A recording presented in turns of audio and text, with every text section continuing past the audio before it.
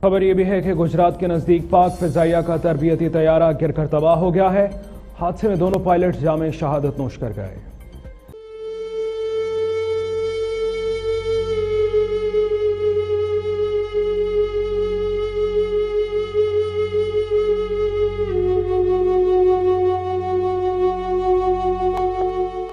پاک فوج کے شعبہ تعلقات عامہ آئی ایس پی آر کے مطابق پاک فضائیہ کا مشاق طیارہ تربیتی پرواز پر تھا کہ گجرات کے نزدیک گر کر تباہ ہو گیا، جبکہ حادثے کے نتیجے میں انسٹرکٹر میجر عمر اور زیر تربیت لیفٹیننٹ فیضان شہید ہو گئے۔ میجر عمر گجرات اور لیفٹیننٹ فیضان کلر کہار چکوال کے رہنے والے تھے۔